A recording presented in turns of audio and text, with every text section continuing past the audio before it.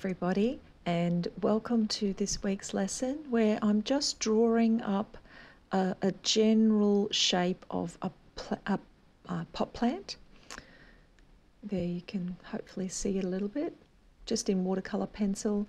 And now I'm just going to add moist paint. So I've wet my brush, added the colour, and I'm adding that directly to the dry paper. As you can see, I really have to move the colour around, push it with the bristles of the brush. It does slide quite well because I have a lot of water on my brush as well, but it's really up to me to push the colour where I need it to go. With this technique, you'll notice that the paint stays exactly where I put it and it doesn't run like it typically does with watercolour. So using this technique onto dry paper is really, really good where you need control for the area that the colour's going into. It might be something very detailed or something very specific that you want to show in, in focus in a painting. Um, and just by not allowing the watercolour to run into soft wet paper, you get really, really specific and sometimes, well, pretty much often, hard edges. So you can soften them by wiping the edges away and making them a little bit less harsh. But as you can see it, I'm dotting down here. I want the green to be in a specific area. I want the pink to stay in a specific area. What I'll do here is add a little bit more water, and you can see there with the pink, and it just sits and puddles on the page, but it's not running and bleeding into the fibres of the paper. So it's not to say that you can't use really runny paint with this technique, but the main thing to remember is don't allow the paper to be wet in an entire area when you're working. Just add the water in with the colour.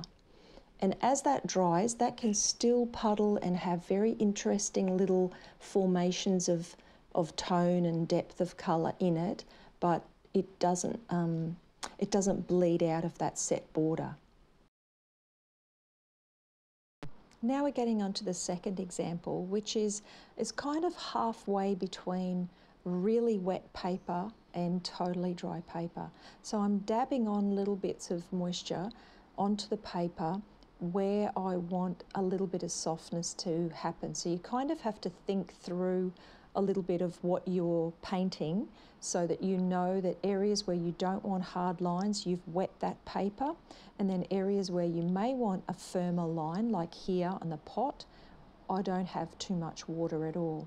So um, I guess sometimes with watercolour, if you're not a big pre-drawer like me, I just like to be in the moment draw up things I need to to help me with proportion. But other than that, I just like to really go freely with watercolour.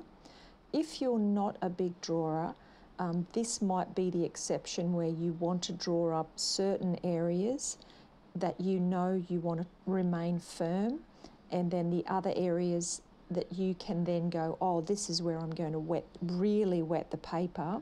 You've got a little bit of a guide to where that is because you know doing pot plants that's really free but if you're doing like a chair that's in shadow with a, a cushion and a cat on it you know you really do need more specific drawing guides than what I do.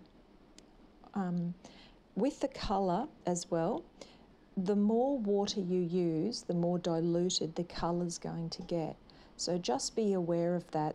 And when the paper's really really wet you'll become very aware of it because you'll quite often think, oh, I thought I put that colour on a lot stronger, and then it dries and it's soaked into the paper and the pigment has dispersed.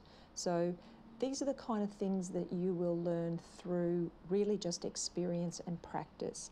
And the more that you set aside a few minutes, you know, a day, a week, a, a little bit of a weekend, whatever, just to experiment and try these little um, practice bits that I'm doing here, and you will learn for yourself. It's really hard to just talk someone through that kind of knowing. It's like, oh, the, pa- the paper was too wet, or oh, the paper was too dry. So looking at these two, you can see the pot is softer on the one I've just finished. And then here in this area, and compared to that area, you can see there's softness and then there's hard defined line on the right. So going into the last technique, I'm really applying a lot of water. I know you can't really see it here, but I'm, I'm really going out beyond where I expect to be painting as well. So the whole area of that page is quite wet. Once you get used to this technique, you'll even know how wet the page should be or how long you might want to wait until you start putting colour on so it's just damp. Um, it, it's really kind of a fun little investigative journey that you have learning all these little things about watercolour. I love the randomness of watercolour, but being able to control the randomness a little bit is, is even more exciting, I think.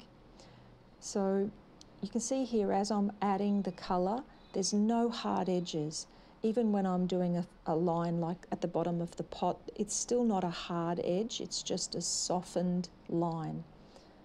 I can add strength of colour into my flowers and you can see that the water immediately, the wet paper just takes that colour and makes the edge disappear. It just softens off the borders. So don't be afraid to paint a lot of um, pigment on. I've mentioned this earlier because as this dries, you will find that it dissipates, that the colour softens a little bit.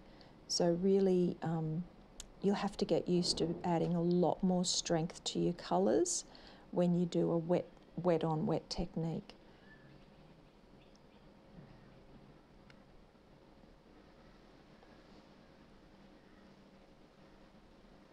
There's obviously a softness about this technique that you don't get with the other two. Um, so really that lends itself to certain types of um, situations in paintings. If you're doing a subject, say you're doing a bird on a branch, and you really want to put the focus on all the feathers, so that's exactly when you would use wet on dry and dry brush technique.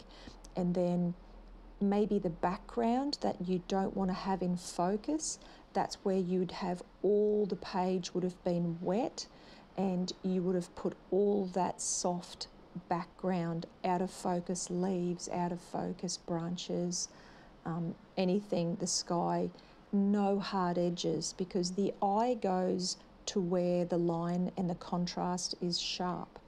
Just keep that in mind when you're using this technique, you're going to give a less contrast effect, even though you're using really bright colours.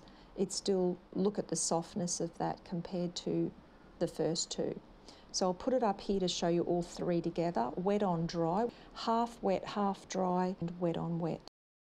Now looking back at the painting, this section here, and also this section here under the shadow and shadow up the top, you can see I've actually blended the colours from one colour to another. That is a really good example of using the wet on wet technique it makes it much easier to blend from light to dark or from one colour to another. So here I'm just using ultramarine blue and a pre-mixed colour in my Derwent palette, which is a maroon colour, which is essentially ultramarine blue, burnt sienna and magenta pre-mixed. But I've wet this page first, now I'm adding the maroon colour from the bottom up by doing that, it actually gives you the feeling that it may be a colour um, influence from, say, a terracotta tile or something like that on the ground. Now I'm going to add in a line that I want to keep pretty sharp, so I didn't wet the paper. I, I kept the paper dry, but I'm allowing when it touches the wet paint of the ultramarine blue, it's going to bleed in a little bit. And going across again I'm I haven't I've got a wet brush with with the brown on it but I'm not using really wet paper here. This is wet on dry technique.